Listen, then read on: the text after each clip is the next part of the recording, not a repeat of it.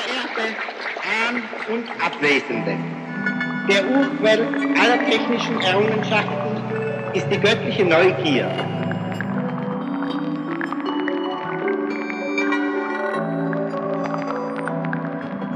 Und der Spieltrieb des bastelnden und grübelnden Forschers und nicht minder die konstruktive Fantasie des technischen Erfinders.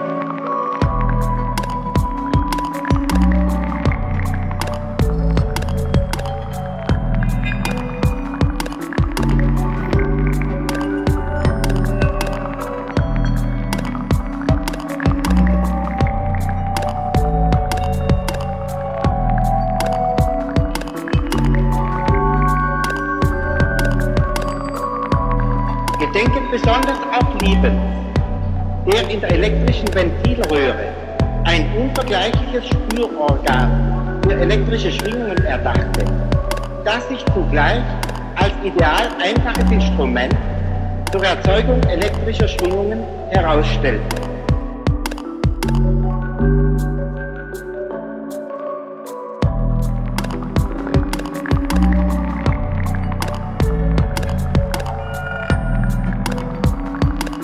Gedenke dankbar des Heeres namenloser Techniker, welche die Instrumente des Radioverkehrs so vereinfachten und der Massenfabrikation anpassten, dass sie jedermann zugänglich geworden sind.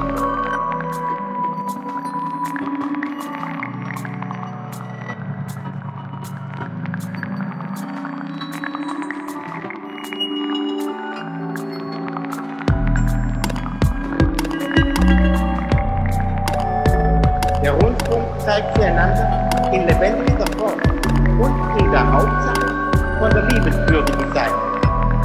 Er wird so dazu beitragen, das Gefühl gegenseitiger Fremdheit auszubilden, das so leicht in Misstrauen und Feindseligkeit entsteht.